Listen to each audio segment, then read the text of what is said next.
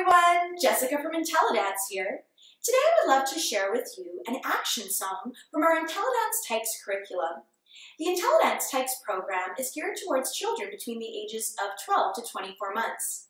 This action song is going to help them work on body awareness by labeling and moving different body parts. We're also going to work on stopping skills. Little ones at this age love to move their body, but stopping with control can be a little bit more difficult. So we're going to use a song with a repetitive pattern to help them work on not only moving and identifying body parts to a beat, but also knowing when to stop when they hear a cue.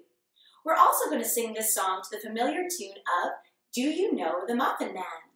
Let's start by moving our hands just like this. Shake, shake, shake, shake, shake, shake, shake. Show me how your hands can move, your hands can move, your hands can move. Show me how your hands can move, now show me how they stop. Clap, clap, clap, clap, clap, clap, clap. Show me how your hands can move, your hands can move, your hands can move. Show me how your hands can move, now show me how they stop. Let's try our feet. Can you make them go? Stomp, stomp, stomp, stomp, stomp, stomp, stomp. Show me how your feet can move, your feet can move, your feet can move. Show me how your feet can move, now show me how they stop. Good job. Let's try this one.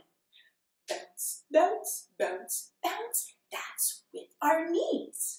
Show me how your knees can move, your knees can move, your knees can move. Show me how your knees can move. Now we make them stop.